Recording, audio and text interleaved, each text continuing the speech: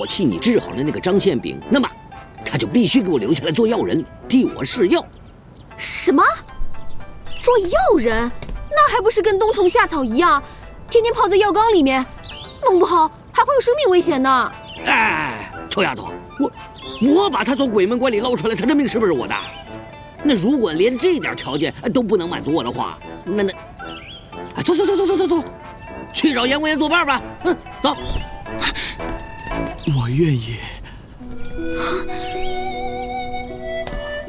小张，这不行，你受了这么严重的伤，还要去试药，实在太危险。丁大哥，曾经我跟百草前辈有过一面之缘，他的药连神仙姐姐的脸都能治好，我特别崇拜他。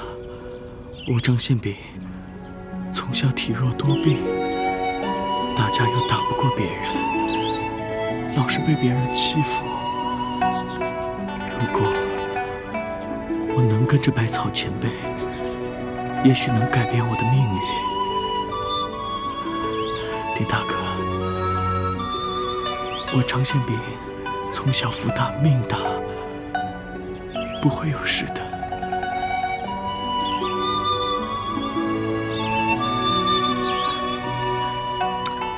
呃，冬虫夏草，把那个废人给我抬进去，泡在药缸里，先泡上个三天三夜，呃，给他养元补气。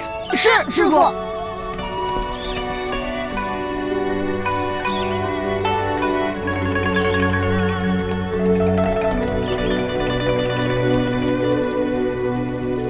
嘿嘿嘿，呃，青云丫头，嗯，你现在是不是该把那个草药王给我了？啊？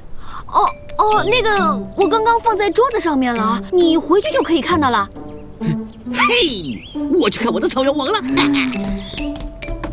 啊丁大哥，走吧，快点走吧。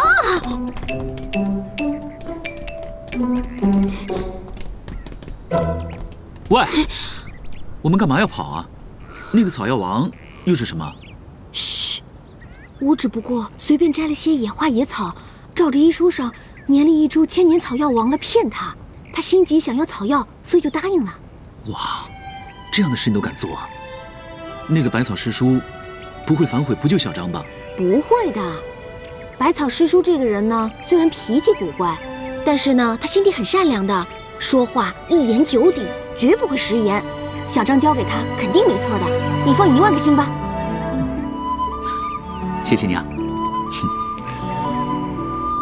你这个木头啊，额头还疼不疼啊？嗯。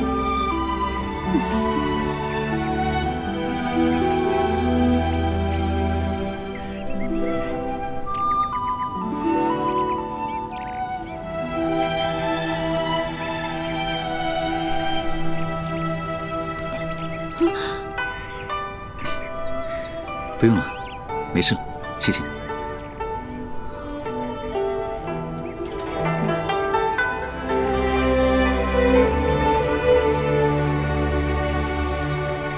赵景云，你个骗子！他追来了。